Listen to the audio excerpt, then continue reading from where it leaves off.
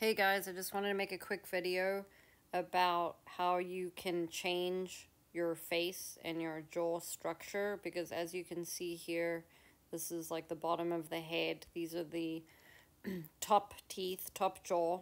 And as you can see here, it's uh, separated, separated bones, different bones right here. So this side is kind of like a different bone than this side. That's why mewing, you're supposed to be having your tongue completely in here. Your tongue should fit right in here.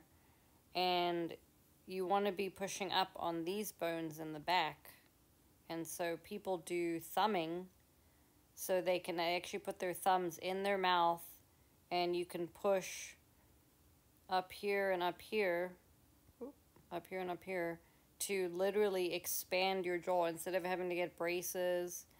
And the other important thing is that if you have enough space in your mouth, you can probably grow a third set of teeth. So that's why it's also important. If your teeth are crowded, if your teeth are bad, it's probably because they're crowded.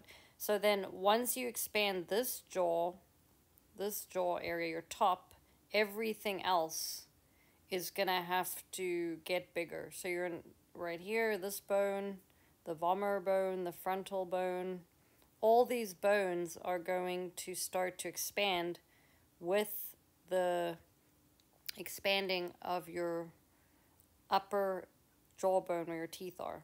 So guys, look into thumbing, look into mewing. It's important if you do either want to grow teeth or keep a good set of teeth because we are opening our mouths, we are uh, sleeping with our mouths open, and you need to have the right tongue position, the right posture in order to have the right facial structure.